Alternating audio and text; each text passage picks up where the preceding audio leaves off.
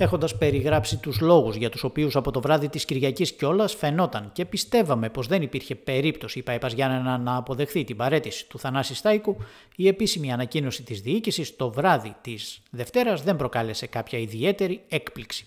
Ο ΠΑΣ έτσι κι αλλιώς αντιμετωπίζει δυσκολίες που δεν ξεπερνιούνται με μία ή περισσότερες ανακοινώσεις, αλλά μόνο με τα θετικά αποτελέσματα στο γήπεδο. Το πρώτο θετικό σημάδι στην ανακοίνωση είναι πως τουλάχιστον υπάρχει η αναγνώριση και παραδοχή πως η πορεία της ομάδας απέχει μακράν αυτής που είχαν σχεδιάσει τα αδέλφια Χριστοβασίλη, αν και αυτό το σχέδιο δεν έγινε ποτέ γνωστό στο ευρύ κοινό. Η απόλυτη εμπιστοσύνη και στήριξη στο έργο του κυρίου Στάικου και των παικτών επίσης στη δεδομένη χρονική στιγμή που δεν υπάρχουν περιθώρια αλλαγών φαντάζει λογική. Πλην όμως θα πρέπει και η διοίκηση να αποδείξει με πράξεις ότι εννοεί αυτά που επισημαίνει για άμεση ενίσχυση σε όλα τα επίπεδα. Η ίδια αφήνει να εννοηθεί ότι εκτός από την ομάδα που θα ενισχυθεί με παίκτες, θα υπάρξουν προσθήκες και στους συνεργάτες ενδεχομένως του κυρίου Στάικο, ακόμη και σε άλλες θέσεις γύρω από την ομάδα ή και τη διοίκηση.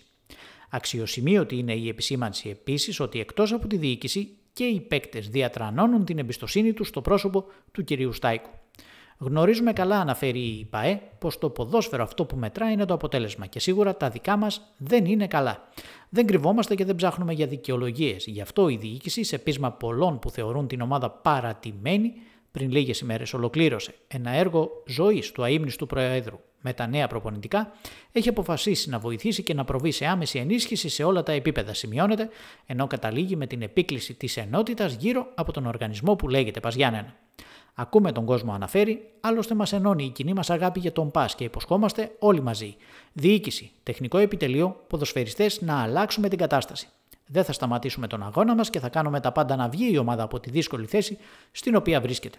Σε αυτή τη μάχη καταλήγει δεν περισσεύει κανείς και ενωμένοι θα χαμογελάσουμε στο τέλος. Οι παίκτες της ομάδας στο μεταξύ ξεκίνησαν σήμερα την προετοιμασία τους για το επόμενο παιχνίδι πρωταθλήματος με τον Όφη εκτός έδρας το προσεχές Σάββατο.